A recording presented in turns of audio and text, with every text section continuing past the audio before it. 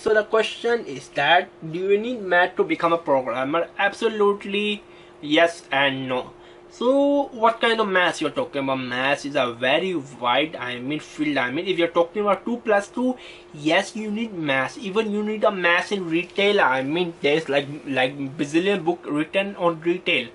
Mathematics for retailing. If you're starting your own shop you need math if you're doing shopping even in shopping you need math 2 plus 2 equals 4 if you're talking about like complex mathematics algebra that kind of stuff again it depends. If you're building like complex software desktop software or some kind of algorithm i mean then you need if you just want to become a web developer the math you're talking about the shitty electronic math you're talking about that one you do not need I mean as a web developer even in Android I mean development you just need to know 2 plus 2 how to divide how to plus I mean that kind of stuff.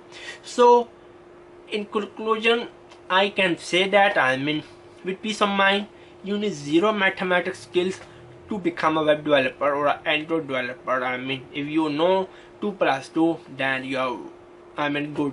But if you want to go to machine learning game development which where a lot of math required then I will say definitely you need. I hope this is another question.